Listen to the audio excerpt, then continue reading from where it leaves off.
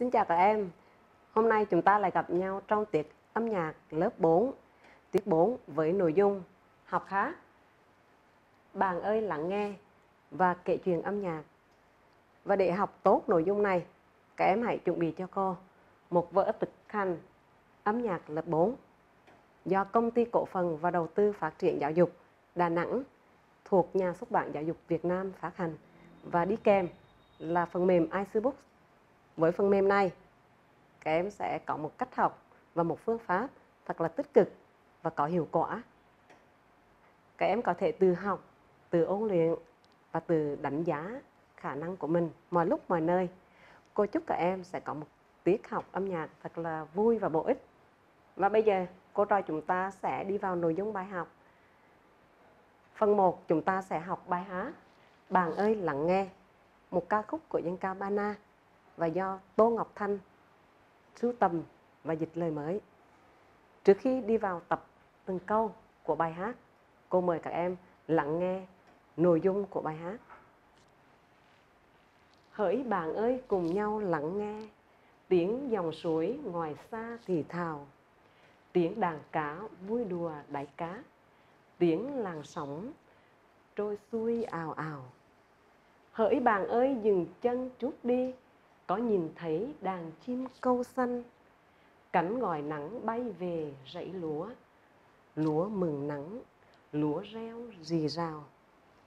Đó là toàn bộ nội dung ca từ của bài hát bạn lên lắng nghe. Và bây giờ, cô mời cả lớp chúng ta cùng nghe giai điệu của bài hát có phần lời. Nào, chúng ta hãy lắng nghe và cô sẽ sử dụng phần mềm iCebook để hỗ trợ cho chúng ta phần này nhé.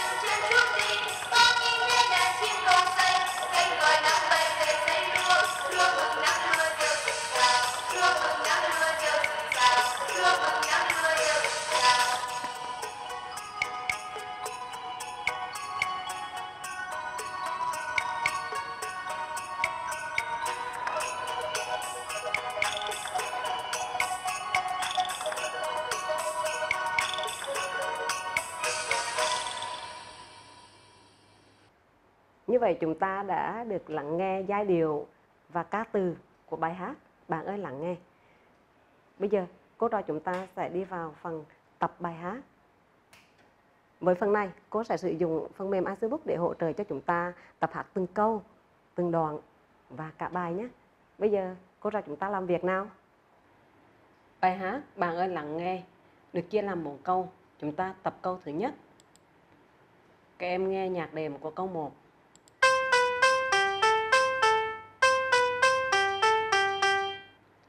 Các em nghe lại một lần nữa.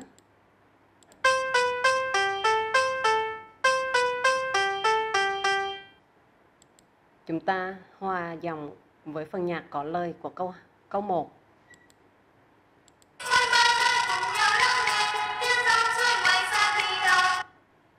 Các em lặp lại một lần nữa.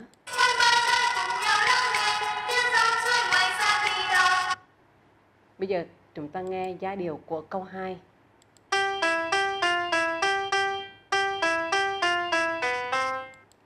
Nghe lại lần nữa.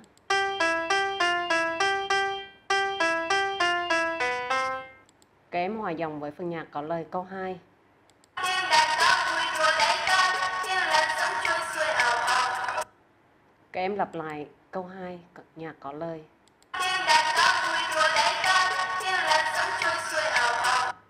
Chúng ta nối câu 1 và câu 2.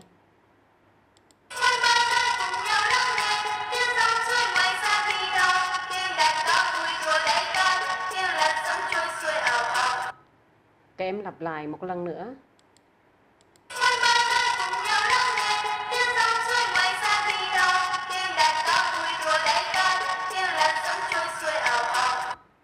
Bây giờ chúng ta nghe giai điệu của câu 3.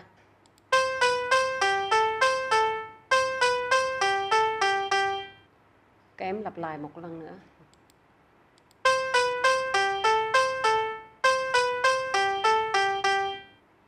Kém hòa giọng với phần nhạc có lời của câu 3.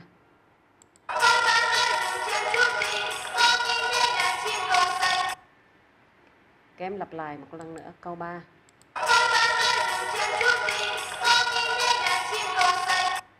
Và bây giờ là giai điệu của câu 4.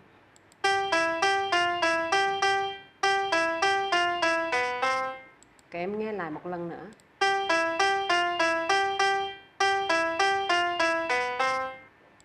Kém hòa giọng với phần nhạc có lời, câu 4.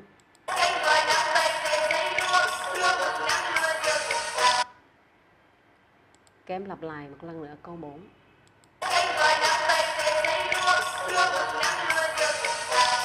Chúng ta nối câu 3 và câu 4.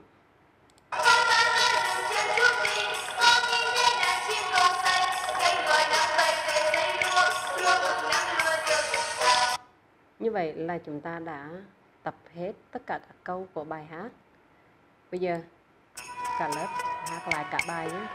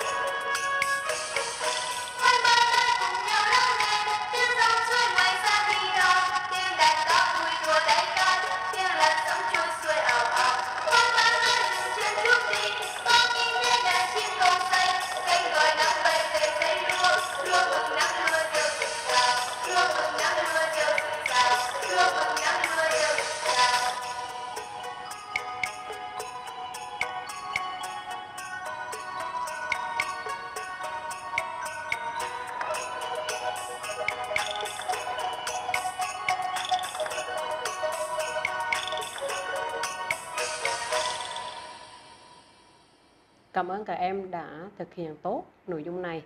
Và bây giờ chúng ta sẽ thực hiện lại bài hát với phần nhạc không lời. Các em lưu ý khi hát, các em thể hiện nội dung ca từ thật rõ ràng, tròn vần, rõ tiếng. Bây giờ cô mời các em thực hiện.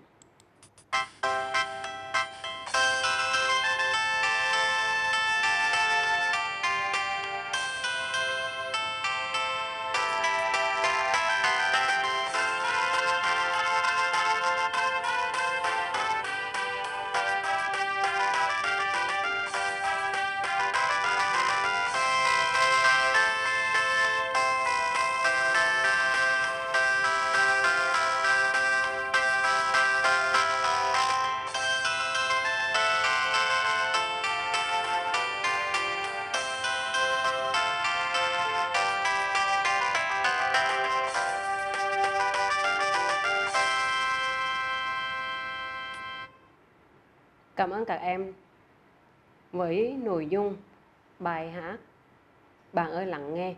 các em có thể kiểm tra lại giọng hát của mình qua phần thu âm. Các em có thể thu lại giọng hát của mình để kiểm tra cái phần trình bày của mình xem đã đúng chưa nhé. Cảm ơn các em. Như vậy chúng ta đã hoàn thành phần tập bài hát bạn ơi lắng nghe. Bây giờ cô mời cả lớp chúng ta cùng lắng nghe giá điệu của bài hát một lần nữa và có kết hợp vỗ tay đềm theo chỗ đánh dấu X trên ca từ. Khi nghe, các em có thể hát nhậm theo và thực hiện theo nhé. Nào, chúng ta bắt đầu làm việc.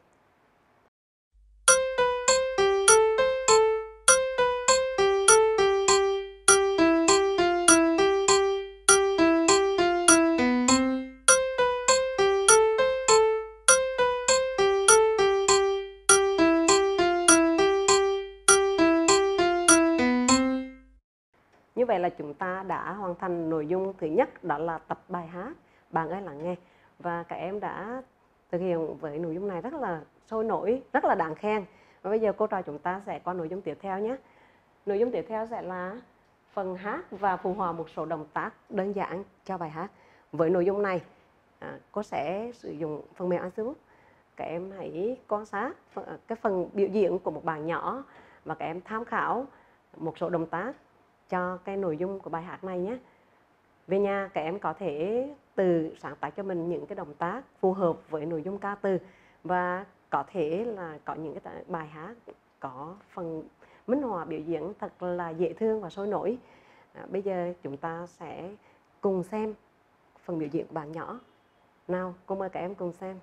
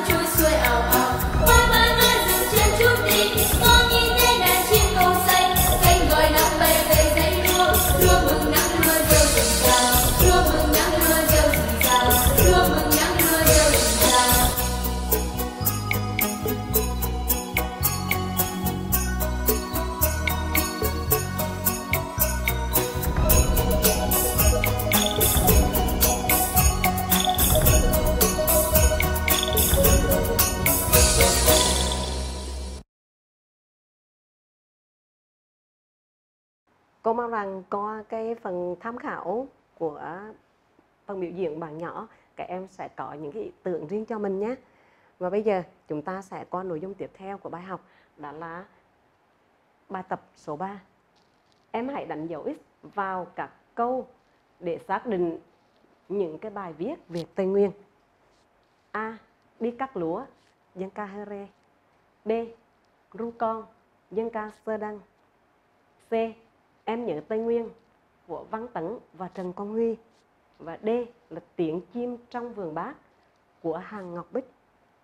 Bây giờ, theo các em, những bài nào là có nội dung viết về Tây Nguyên? Các em hãy sử dụng phần mềm iCbook đánh tích vào những bài hát mà mình cho là đáp án đúng. Cô sẽ hỗ trợ cho các em về phần này nhé. Nào, bây giờ chúng ta cùng làm việc. Chúng ta bắt đầu vào phần bài tập thực hành số 3 em hãy đánh dấu x vào câu để xác định những bài viết về Tây Nguyên A. Đi cắt lúa, dân ca Hơ Rê B. Ru con, dân ca Sơ Đăng C. Em nhớ Tây Nguyên của Văn Tấn và Trần Quang Huy D. Tiếng chim trong vườn bác của Hàng Ngọc Bích E. Chú voi con ở bản đôn của Phạm Tuyên và bài gà gáy, dân ca cống theo các em trong số bài hát trên, những bài hát nào? Viết về Tây Nguyên. Các em có thể sử dụng phần mềm Facebook để đánh dấu nhân vào những đáp án mà các em cho là đáp án đúng. Cô sẽ hỗ trợ cho các em phần này. Đi cắt lúa. Ru con. Em nhớ Tây Nguyên tiếng chim trong vườn bá và chú voi con ở bản đôn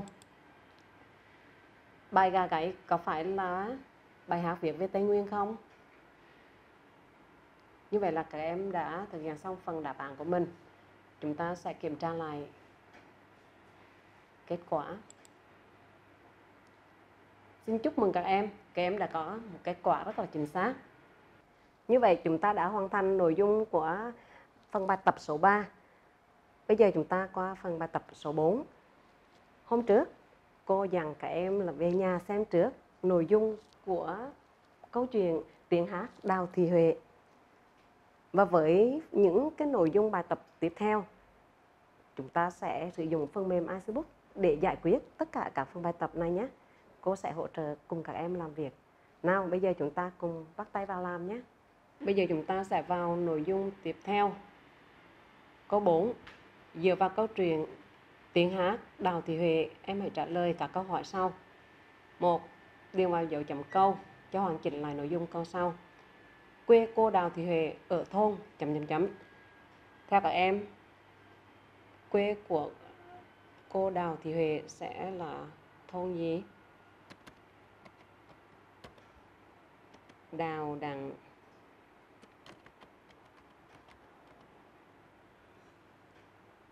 thuộc xã Trung Nghĩa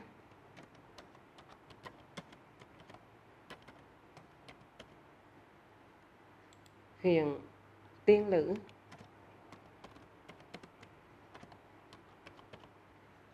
và tỉnh Hưng Yên. Bây giờ chúng ta kiểm tra lại kết quả. Như vậy là chúng ta đã có một đáp án thật là chính xác. Xin chúc mừng các em. Chúng ta tiếp tục nội dung của câu 2 đó là điền dấu x vào ô trống tương ứng với những câu có nội dung đúng. Giặc Minh đã đối xử với nhân dân ta như thế nào? A. Cướp bóc, tàn sát, dã man B. Bắt dân đi phu. C. Cả A và B đều đúng. D. Cả A và B đều sai. Theo các em, đáp án nào sẽ là đáp án đúng của câu này? Cô sẽ sử dụng phần mềm Facebook để hỗ trợ cho các em điền đáp án đúng. Theo các em, câu C là A và B đều đúng. Bây giờ chúng ta sẽ kiểm tra lại kết quả của mình.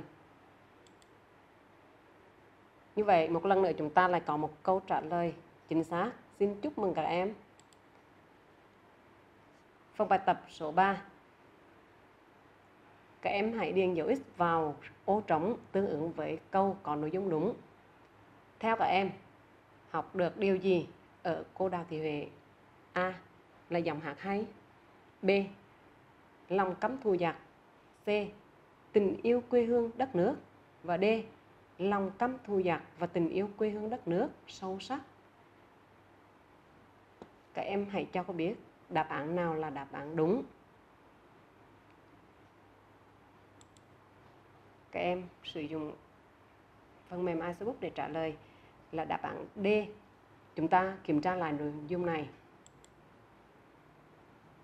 Và với đáp án này thì một lần nữa các em đã trả lời rất là chính xác. Xin chúc mừng các em. Như vậy, cô trò chúng ta đã giải quyết được nội dung bài học hôm nay rồi. Hôm nay các em đã được học bài hát Bạn ơi lắng nghe và thực hiện một số bài tập liên quan tới mẫu chuyện tiếng hát Đào Thị Huệ. Về nhà, các em có thể truy cập vào phần mềm iCbook để ôn tập lại tất cả các nội dung đã học hôm nay nhé. Và đừng quên xem bài mới với nội dung ôn bài hát Bạn ơi lắng nghe. Làm quen với hình nốt trắng và bài tập về hình tiết tấu. Bây giờ chúng ta chào tạm biệt và hẹn gặp lại vào tiết sau nhé.